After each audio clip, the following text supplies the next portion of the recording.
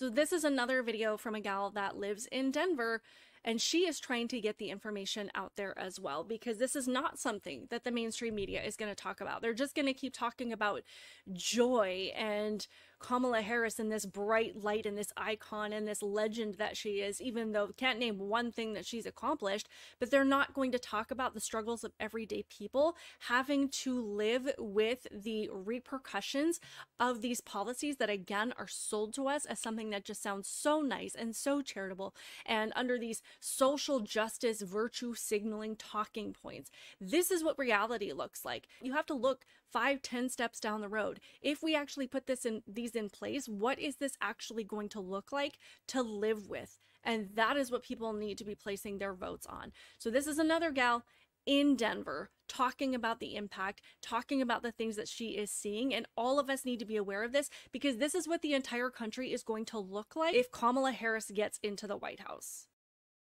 So I'm not one to talk politics, um, never have been. I try to stay out of those conversations. I've always respected what everyone feels and thinks. I still do.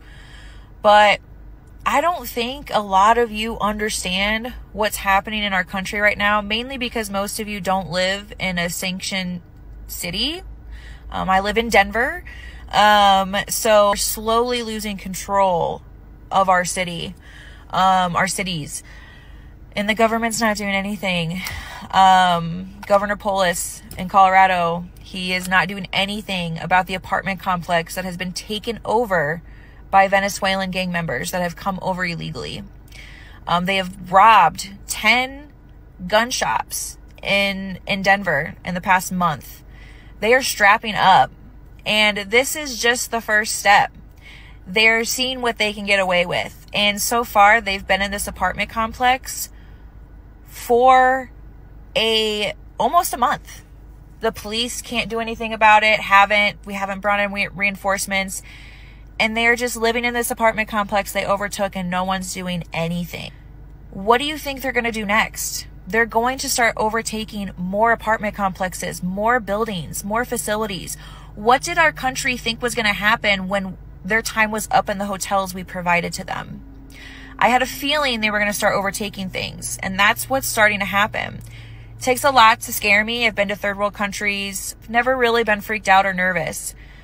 Never thought that I would have to buy a gun to feel safe.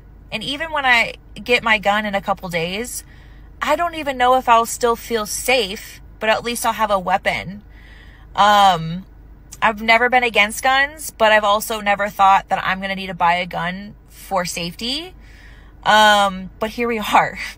here we are. Um, and if you don't live in a sanctioned city, I really, really encourage you to do some research and see what's happening to our country.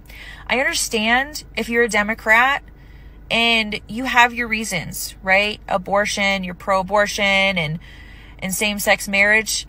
I, I'm fine with that. I understand we all have our own opinions and our beliefs, and that's important to a lot of you. But I hope you understand that although those are important, topics when it comes to voting. If Trump or someone else is not in office other than Camille, Camila, whatever her name is, that stuff's not going to matter because we will not have a country like we have now or have had. So it's not going to matter if abortion is legal or not. It's not going to matter if same sex marriage is legal or not because we're not going to have America anymore. That's 100% true.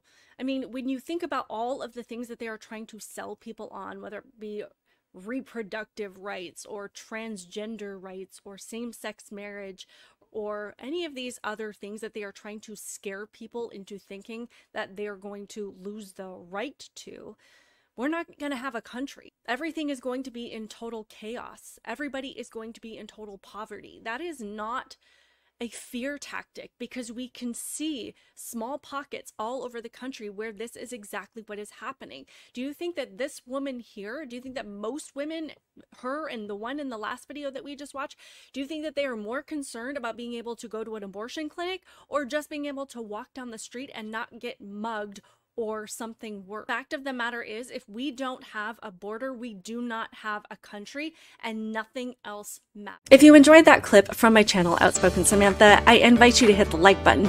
Please make sure that you are subscribed so that I can continue to grow this channel. Share it with anybody else that you think might find it interesting, and check the description box because there's a really good chance this clip came from a longer video of the same subject matter. Thank you so much for being here, and I will see you in the next one.